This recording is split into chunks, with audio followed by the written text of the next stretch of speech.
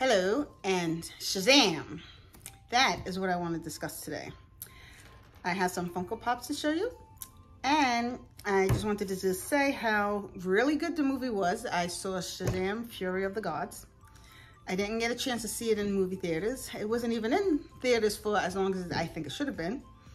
Um, that was a little bit annoying. It's also kind of annoying that Warner Brothers didn't push it more because it was a good movie. It was funny, it had action, the chemistry between all the actors were great. You know, like, like, like they all played off of each other. It was really good. The plot I liked. I thought it was a good plot. Um, so I don't really know what happened there. But if you have a chance, see it.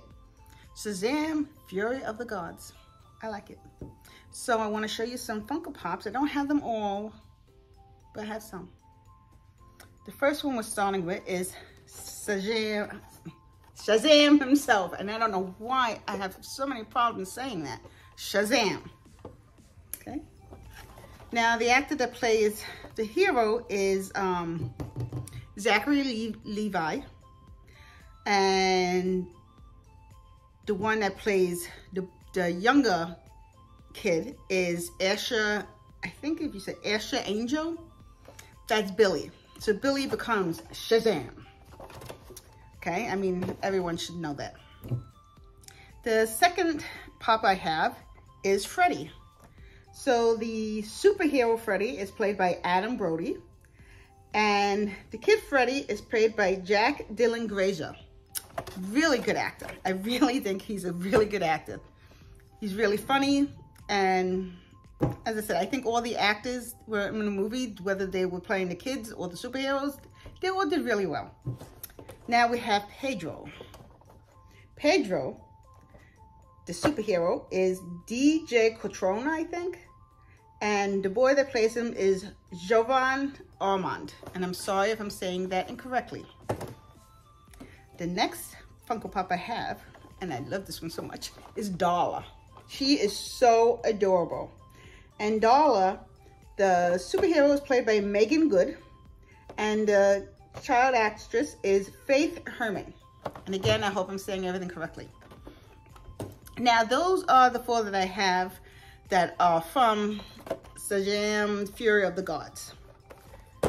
I do have Mary, but this Funko Pop was from the very first Shazam. And this is Grace Caroline Currey. She plays both the teen and the hero. Um, and the reason why I had this one from the first one is because her name is Mary and my name is Mary. So my husband got me Mary. But I don't have Eugene.